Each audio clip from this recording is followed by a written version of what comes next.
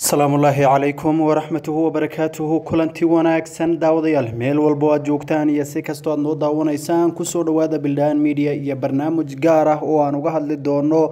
khudbadii ra-iisul wasaare abiy axmed uu ka jeediyey maanta kalfadhiga baarlamanka dalka ethoobiya halkaasi oo khudbad la wada sugayay uu ka jeediyey wuuna uga hadlay xaalada guud ee wadanka ethoobiya iyo sidoo kaleeto waxyaabo badan oo sida uu sheegay ay qarin jireen intii ay colaadu ka taagnayd wadanka ethoobiya amaan idhaahda uu isbeddel kuba dhacay. Abiy axmed ayaa khudbadda intii uu halkaasi ka jeedinayay baarlamanka wadanka ethoobiya ayaa iyaguna dhankooda su'aalo kala duwan weydiiyey waxa ayna ahayd kalfadhigani mid xamaasad iyo xiisadi ka muuqato maadaama wadanka ay ka taagan yihiin arrimo la isku maandhaafsan yahay oo dhinacyo kala duwan u dhaxaysa qaar ka mid ah xildhibaanada baarlamanka dowladda federaalka ethoobiya ayaa waxa ay weydiiyeen ama ay sheegeen dhibaatooyin kala duwan oo t b l f ay wadanka ka geysteen muddadii ay ka talinayeen. Iyo hadda labadii sane ugu dambeysay ee isbedelku wadanka ethoobiya ka dhaqangalay oo ay sheegeen dhibaatada ugu badan iyo inuu wadanku degi waayo isbedelkiina la dhaqaajin waayo ay iyagu ka dambeeyeen.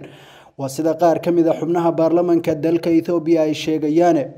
xubno kale oo iyaguna ka hadlay goobta ayaa ra'iisul wasaaraha wadanka ethoobiya abiy axmed cali waxa ay weydiiyeen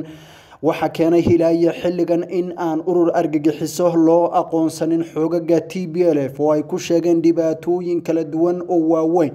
inay wadanka ka sameeyeen mid ka mid a xildhibaanada. Oo halkaasi ka hadlaya ayaa waxa uu sheegay ilaa iyo hadda inuusan garanaynin dembi ka maqan dunuubta la sameeyo oo aysan samaynin t b l f sidaa darteedna ra'iisul wasaaraha ayuu weydiiyey sababta ilaa iyo hadda heshiis aan idhaahdee loogu aqoonsan layahay urur argagixiso si wax looga qabto. Su'aalo kala duwan ayay baarlamanku weydiiyeen. Ra'iisul wasaaraha oo xamaasada iyo shucuur ay ka muuqato ayaa siyaabo kala duwan uga jawaabaya su'aalihii ay baarlamanka wadanka federaalka ethoobiya ay weydiinayeen abiy axmed oo ka jawaabaya su'aalaha baarlamanku ay weydiinayaan ayaa waxa uu ka hadlay isaga dhankiisa arrimo badan oo horay uusan uga hadli jirin kuwaasi oo aada moodo in uu ciil muddo badan hayay uu maanta baarlamanka hortiisa ku dulfakaday waxa uu sheegay in waaran qabasho ah loo soo jaray marka ay toddoba cisho ka dhimanayd in la doorto. Isaga laftiisa abiy axmed xubnihii isbeddelka hogaaminayay oo dhan ayay hanjabaad dabagal iyo xadhiga loo soo jaray taasi oo ay doonayeen t b l f inay ku curyaamiso isbeddel halkaas waxa uu ku sheegay ra'iisul wasaare abiy axmed in e b r d f ay laba kale ahayd oo qaarna isbeddel u ololeynayeen uu isagu ka mid yahay kuwo kalena ay doonayeen. In xiisada wadanka iyo xaalka uu wadanku ku jiray sideedii lagu sii wado waxayna mas'uuliyiinta t b l f xisbigooda ka tartamayay iyagu ahaayeen kuwo doonaya inay hogaanka qabtaan maadaama oo ay ciidamada iyo meelaha ugu muhiimsan oo dhan wadanka e b r d f t b l f xisbigii ahaa ay gooni u haysteen ayaa waxa uu sheegay in isaga iyo xubnihii kale isbeddelka doonayeyba maalmo ka hor inta aan isaga la dooranin loo soo jaray waraaqdii lagu soo xiri lahaa. Waxa uu sheegay xafiisyada in ay amniga sugaan loogu talagalay in lagu daabici jiray calaamadaha oranjiga oo uu jeeday calaamada calanka xisbiga t b l f ama dowlad deegaanka tigreyga uu isticmaalo. Waxa uu sheegay waraaqahaas iyo waxyaabihii lagu daabacayna in la geyn jiray goobaha munaasabaduhu ay ka dhacayaan. Si loo carqaladeeyo dadkana tashwiish loogu furo oo waxa uu yidhi dadku ay colaad iyo dhibaatooyin loo abuuro. Waxaa kaleeto uu sheegay in munaasabadii ugu dambeysay ee xuska ireejaaga ee isaga intii aan la dooranin ka hor lagu soo daabacay waraaqaha calaamada oranjiga taasi oo uu ku sheegay sababta looga dan lahaa in shacabka lagu kiciyo isbedelkana lagu curyaamiyo waa sida uu hadalka u dhigay. Waxa uu sheegay in wax kasta oo ay sameeyeen si ay doorashadii guddoomiyaha e b r d f u soo saaraan qof ay wataan ujeedadoodu waxa ay ahayd in kursiga ay ku fadhiistaan kuwa dowladda ka soo horjeeda ama xilligaasi isbeddelka u ololeynayeyna ay dhibaatooyin kala duwan u gaarsiiyaan waxa uu sheegay sidoo kaleeto dad wakhtigaasi si toosa dowladda uga soo horjeeday in ay doonayeen in ay falalkaasi ka faa'iideystaan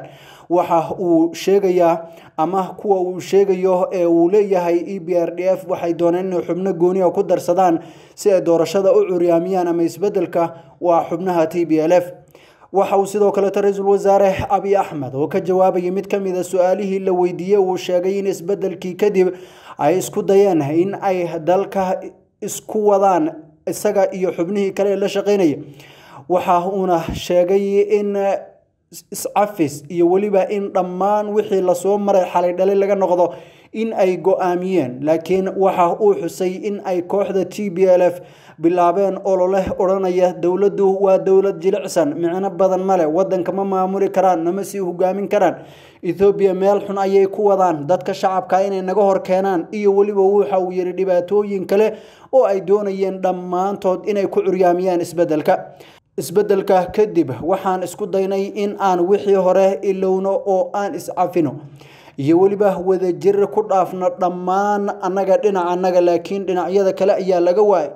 Kooxda laga hadlayo waa t b l f oo iyagu dhibaatooyin kala duwan wadanka ethoobiya ka geystay. Waxa uuna ra'iisul wasaare abiy axmed uu sheegay in aysan suurtagal ahayn heshiis xubnahaasi lala galo oo uu ku sheegay in dhibaatooyin kala duwan ay wadanka ka geysteen